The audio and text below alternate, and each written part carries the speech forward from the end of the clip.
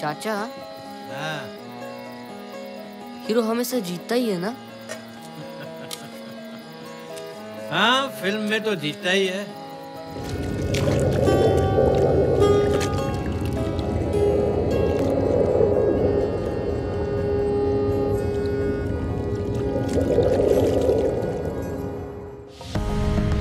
Download and subscribe now.